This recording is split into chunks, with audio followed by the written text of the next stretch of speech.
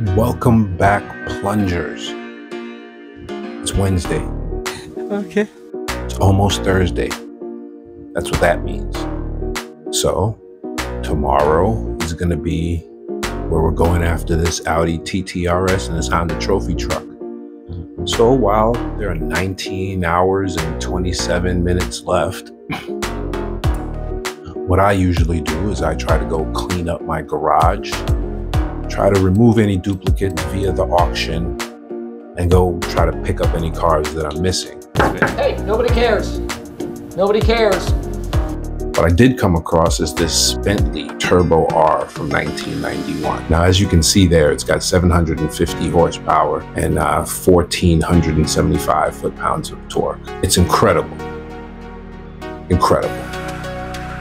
Let me show you real quick. Let me show you what I'm talking about real quick. So first of all, the car does this.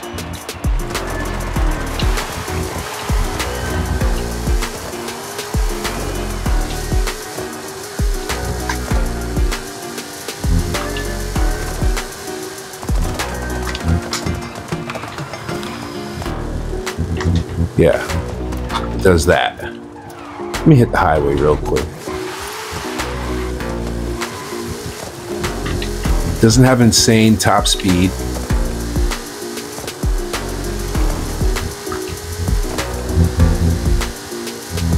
If I'm squeezing, I could probably get 225 out of it. But what I have it right now, to me, is the sweet spot for the aero and the gearing that I have, the gearbox that I have, nine speed gearbox. But the car is surgical I am a surgeon. as far as handling is concerned. Now it was $20 million. I don't think anybody's selling this for less. I don't think anybody's selling any car that can sell for $20 million for less than $20 million. Let's just put it that way. Those go immediately. While cars that would sell for much cheaper go on the auction for 24 hours. Those $20 million cars go on for an hour but never stay for that whole hour. In fact, I put a couple of cars up for $20 million and they went immediately. I went to go put a second car up and the first car had already sold by the time I put the second car up. But this car right here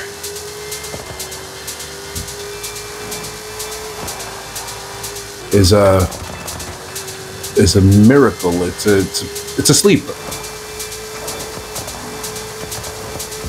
No matter how you cut it, it's a sleeper. I figured I'd do a little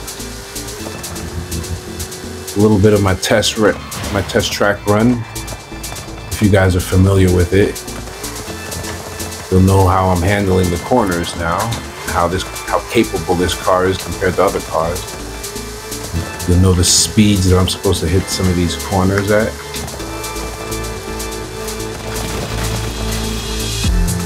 But yeah, this car is very impressive.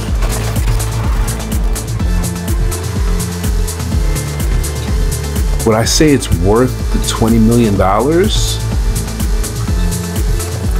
Well, I had 120 when I bought it, so yes, it was worth it. If it's your last 20 and you're looking to make a purchase, or your first 20, and you're looking to make one of those big purchases to fill up your garage and fill it out and get your missing cars, I'd I'd say you couldn't do much worse than this one. I'd highly recommend this car. Highly recommend it. See what it looks like inside. I mean,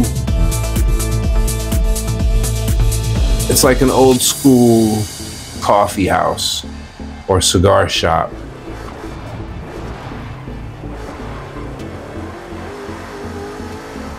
But at the end of the day,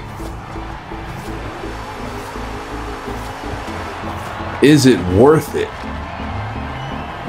And I would I would have to say it is unequivocally it's worth it. It's gorgeous. And this is this is the one of the stock colors. This is one of the factory colors. I did change the wheels around a little bit, but this is stock. The the aero isn't obtrusive. It's tastefully done, as tasteful as you can get with Forza Aero.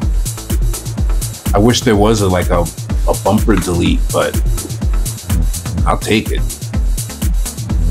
I suggest that if you do have the $20 million, go check this car out.